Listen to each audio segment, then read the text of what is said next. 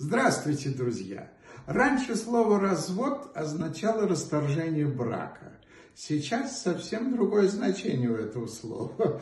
Вам может позвонить представитель службы безопасности какого-то солидного банка и попросить ваши пароли. Вот недавно мне позвонил какой-то оператор связи и сообщил, что у меня заканчивается абонентский договор. А я-то знаю, что он не заканчивается, и тут надо быть поосторожнее. Это требует код какой-то, который мне должен прийти. Я сказал, никакого кода у меня нет. Тогда он потребовал пароль в госуслуги. Я тоже ему отказал, потому что сориентировался. Рядом со мной сидел очень умный советчик.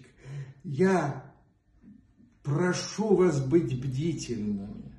Особенно это касается пожилых людей, которые доверчиво выслушивают все эти разговоры и не прочь подыграть этим мошенникам, думая, что это честные люди. И очень обидно, что таких людей пожилых э, тоже э, грабят по телефону. Будьте бдительными, пожалуйста.